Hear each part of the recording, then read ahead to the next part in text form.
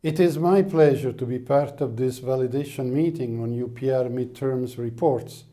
and I regret I cannot join you in Ulaanbaatar due to the fact that this event overlaps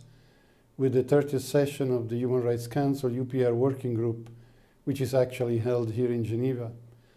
I commend the government of Mongolia and UPR Info for convening this important meeting with the active participation of various national stakeholders. This year, as you know, is the 70th anniversary of the Universal Declaration of Human Rights, which focuses on promoting the rights enshrined in the Declaration in our daily life and reflecting on progress, challenges, and way in which we can better protect human rights. The anniversary offers an important opportunity to ensure that human rights are relevant not only for peace and security, economic and social development, but also the prevention of conflict and humanitarian emergencies, which will contribute to improving the quality of our daily life. In this regard, allow me to recall the following important initiatives at the global level. Number one, the new Secretary General strongly concentrates his action on prevention and on advancing the 2030 development agenda with human rights at its core and at reinforcing the effectiveness of our organization. Secondly, the 2030 Agenda on Sustainable Development, and in particular the current efforts to advance the 17 SDGs, respecting the principle of leaving no one behind, which are closely linked to human rights recommendations. And thirdly, the opening last May 2017 of the third cycle of the Universal Periodic Review within the Human Rights Council.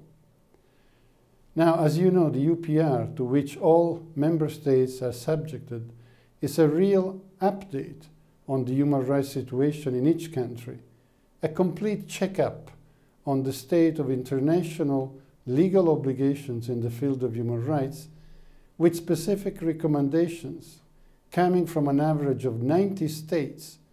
in light of observation that international human rights mechanism as well as NHRIs and civil society organizations have shared with our office. Universal participation in the review process reflects the political will of member states at the highest level with often one or more minister as head of delegation,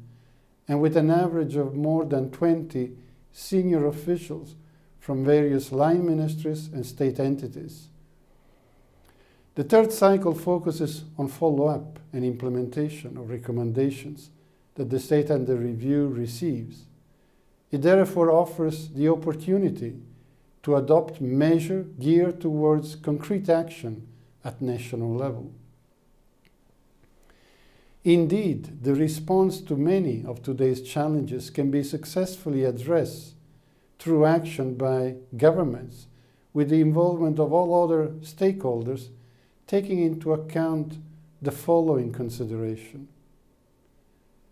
International human rights mechanism as a whole, that is to say those coming from treaty bodies, special procedures, and the Universal Periodic Review, provide hundreds of specific recommendations, a true X-ray of the most important gaps at national level in light of both legal obligations resulting from the ratification by the state of international human rights treaties and political commitments made to human rights bodies, including the UPR. In order to facilitate their implementation, the High Commissioner for Human Rights is addressing the Minister of Foreign Affairs of each member state after the adoption of the outcome document of the third cycle in the Human Rights Council.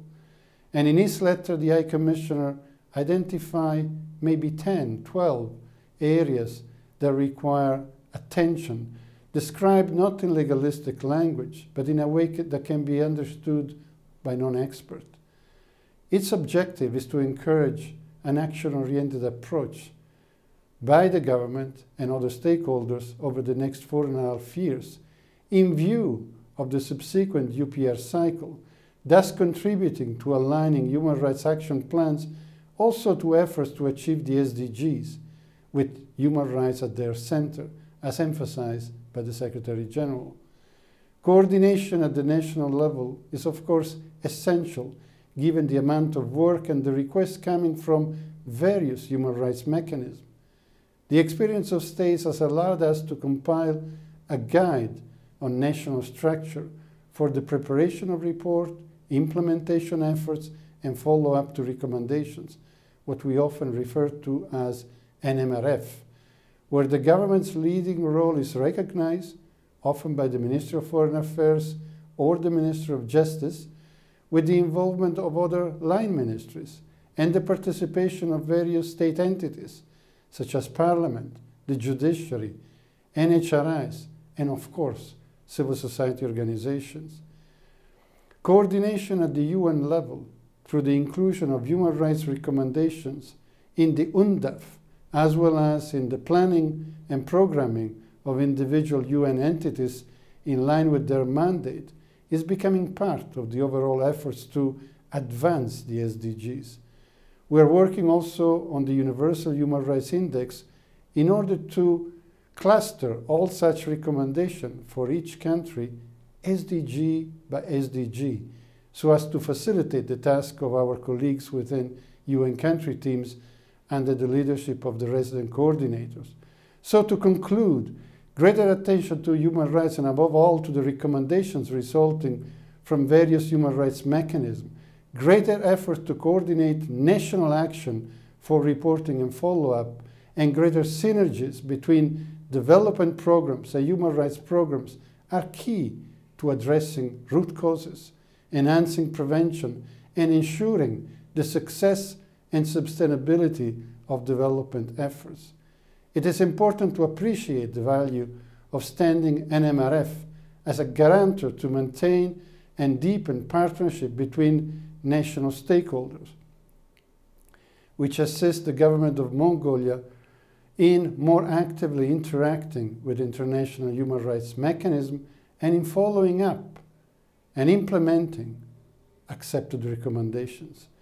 A holistic approach to implementing such recommendations from the human rights mechanism and especially the UPR, aware of the complementary nature of other international human rights mechanisms such as the treaty bodies and the special procedures is of, of course vital to enable the UPR to deliver on its promise to improve the human rights situation on the ground. Further, it is critical to acknowledge close linkages between implementation of recommendation of international human rights mechanism and the achievement of the sustainable development goals. In this regard, I would like to highlight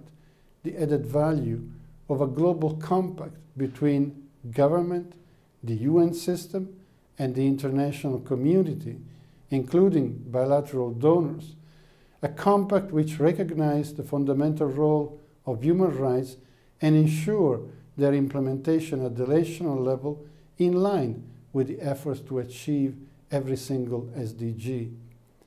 Equally important, I would like to acknowledge the long-standing cooperation between civil society organizations and the National Human Rights Commission of Mongolia and the government line ministries in the UPR process,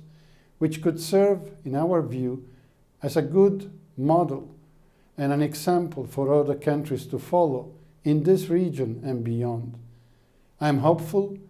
that the current meeting, where implementation progress is assessed a midterm point for Mongolia, can provide a solid basis for the next review and, again, a good indication on how to do it for other countries within the region and beyond. I wish you a very successful and productive meeting, and thank you very much.